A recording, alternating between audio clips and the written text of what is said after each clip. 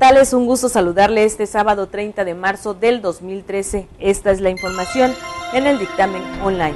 Es muy común que en las temporadas vacacionales los mercados se encuentren llenos, esto debido a que sus platillos son guisados con el sabor casero, además de los accesibles precios que se pueden encontrar en los diferentes locales que se encuentran en el interior del mercado Hidalgo dentro de los diferentes tipos de comida que se pueden ofertar a los comensales con paladares exigentes, usted puede encontrar los tacos de guisados, barbacoa de borrego, pescados, mariscos, antojitos o comida corrida. Sábado de Gloria y los turistas viven su Semana Santa al máximo en playas de Boca del Río, hasta donde acudió el dictamen online para preguntarles cómo han pasado su estancia en el estado de Veracruz.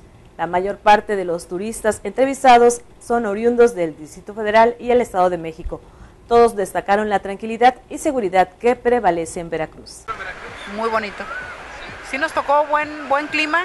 Mi hijo se vino a vivir acá hace 10 años y dice que nos tocó suerte pues que no nos tocó las este los nortes. Bonito, limpio, agradable. ¿Cuántos días llevan acá? Dos días. Dos días. ¿Cuándo se va? Hoy mismo, pues no, no da para más. ¿Cómo encuentran las playas? Bien limpias, están muy bonitas. Venimos de Alvarado. ¿Y la seguridad? Muy excelente, excelente. ¿La carretera? Bien, bien, sin ningún obstáculo. Todo en orden. Un poquito de neblina nada más. Todo muy bien, muy buen clima, muy buena atención, muy bien, nos recibieron muy bien. Este, está muy, está bueno, Sí. está acogedor, ¿Desde mucha vigilancia. ¿Estás acá? Desde el jueves, Desde el jueves. estamos acá, ¿Cuándo andamos se acá. Mañana, en la tarde. Pero sí ves bonito Veracruz. Las Está bonito, está tranquilo, mucha vigilancia, lo que importa. Como ahorita con el muchacho que estaba ahogando, rápido fue, lo salvaron. Locatarios del mercado de pescadería Plaza del Mar comentan que se han tenido buenas ventas dado a que este fin de semana se tuvo la presencia de turismo en la zona conurbada y las familias asisten a la plaza a comprar pescados y mariscos para sus familiares que los visitan. Dentro de los principales pescados y mariscos que consumen llevan más las amas de casa, están el camarón y la mojarra, los cuales están accesibles y se pueden consumir en diferentes platillos. Un total de 72 atenciones por picaduras de erizo y cortaduras han brindado la Cruz Roja de Veracruz este fin de semana en la zona de playas, en donde al momento se registra un saldo blanco, así dio a conocer el coordinador de socorros y desastres de la Cruz Roja, Jorge Roberto Rojas Hernández. Al respecto comentó que los pacientes atendidos no reportaron mayores daños o lesiones de gravedad. El alcalde de Boca del Río, Anselmo Estandía, confirmó al dictamen online que el saldo blanco permanece en esa demarcación pese al lleno total que registra la ciudad con motivo del periodo vacacional de Semana Santa. No, el saldo blanco. Yo no he tenido reporte de saldo blanco en ningún sentido, en- de, de ningún incidente. Los rescates que hemos hecho en la playa afortunadamente han sido con buenos resultados, no han pasado del susto. Eh, todas las personas fueron rescatadas, atendidas y, vamos a decir, y dejadas ir sin tener que tener que pasar una noche en el hospital. Hasta en un 60% en comparación con la Semana Santa del año pasado, incrementaron las visitas al buque Museo Guanajuato, anclado en el río Jamapa a orillas de Boca del Río, informó la representante de Relaciones Públicas Berta Arjona Hidalgo. Pues bastante buena, hemos tenido muy buena afluencia de visitantes, un promedio como de 500 personas por día, por día esto es, es, es bueno. bastante bueno. En comparación a la Semana Santa del año anterior, Sí, básicamente sí. ¿cuánto habría crecido? Eh, yo creo que un sería un 60%. Creció Sí, de visitas. sí. Todo el, el buque llama la atención, son diferentes áreas, son 16 áreas a visitar y este, van con un guía que es un elemento retirado de la Armada de México y algunos son el- elementos civiles. Y cambiando de tema, continuarán con la entrega de créditos a derechohabientes del Infonavit. Tan solo en lo que va del año se han autorizado 2.100 créditos en los 25 municipios que comprende la delegación del instituto en Veracruz, cifra similar a los financiamientos entregados el año pasado. Lo anterior explicó Arturo Martínez Gómez, gerente de la institución. Comentó que la meta para este año es de más de 11.803 créditos y para el primer semestre del año se espera haber colocado al menos 6.000 créditos. Al reconocer la gran respuesta que han tenido las campañas permanentes de vacunación antirrábica canina y felina, el médico veterinario del DIF municipal de Veracruz, Ricardo Jacome Martínez, alertó a los dueños de mascotas a estar al pendiente del periodo de aplicación de dosis, el cual se debe llevar a cabo de forma anual para no causar efectos secundarios en la salud de los animales. Y en información nacional, la Secretaría de Turismo informó que los principales centros de playas, ciudades coloniales y pueblos mágicos con la mayor afluencia de visitantes nacionales y extranjeros son Cancún, Acapulco y Mazatlán, que alcanzan niveles cercanos al 100% de ocupación. Puerto Vallarta, Los Cabos, Huatulco reportan ocupaciones por arriba del 90%. Y agregó que lo mismo sucede con diferentes ciudades coloniales consideradas patrimonio de la humanidad, como es el caso de Guanajuato, Morelia, Querétaro y Zacatecas. El diario norteamericano The Washington Post destacó en su editorial de hoy la aprobación de las reformas laboral, educativa y en telecomunicaciones en México. El editorial titulado La gran negociación de México señala que durante más de una década el Congreso de México estaba sumido en una paralización de tres vías que hacía que la aprobación de las reformas fiscales, económicas y sociales fueran casi imposibles.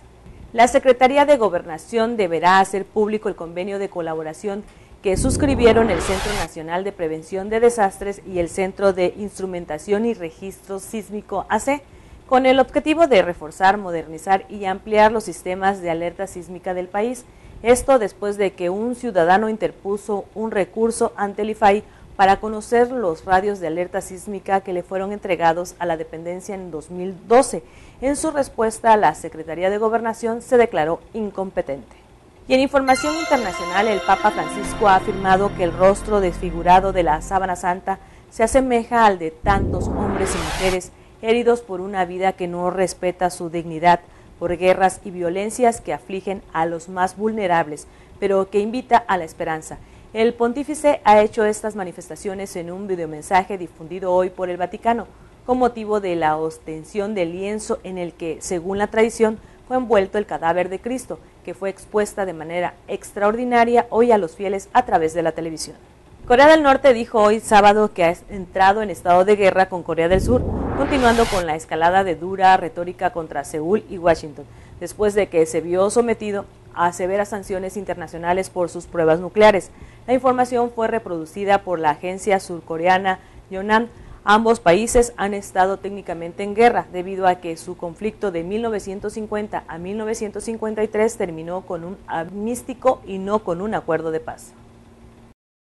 Un desplazamiento de tierras en la región autónoma del Tíbet ha enterrado a 83 trabajadores tras golpear el asentamiento minero de grupo corporativo China National Gold en el que estos trabajaban, según informaron hoy las autoridades locales a través de la agencia Xinhuan. El corrimiento de tierras ocurrió cerca de las 6 horas de la mañana del viernes en la comarca de Maihokunga, a unos 68 kilómetros de la ciudad de Lhasa, capital de la región en la mina Tíbet Tailón.